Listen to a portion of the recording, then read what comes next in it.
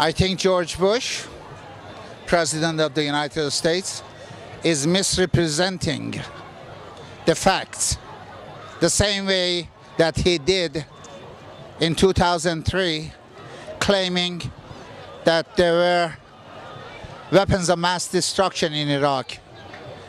Three and a half years later, the world has seen that there has not been any weapons of mass destruction in Iraq and Iran is not representing any threat to any country in the neighborhood or across the oceans. Iran has not had a war. Iran has not waged an aggressive war against any country in the last 100 years. The only war which was um, imposed on the Iranian people and the Iranian government was when the United States armed Saddam Hussein, Iraq, to attack Iran. That was the only war that I remember in the last 100 years. We are not a threat. The, the nuclear energy is a civilian nuclear energy. It is for peace and production of energy.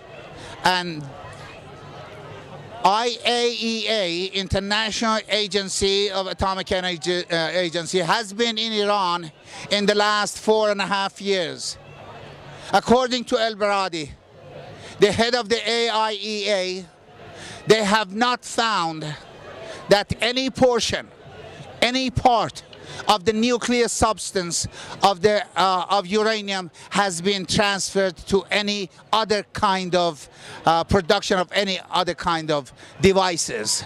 Therefore, three and a half years is enough.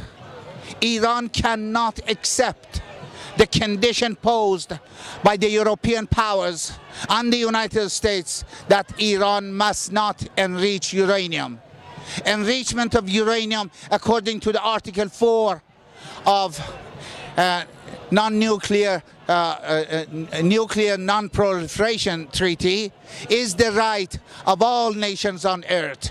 The United States cannot deny us our right to science and technology. Thank you.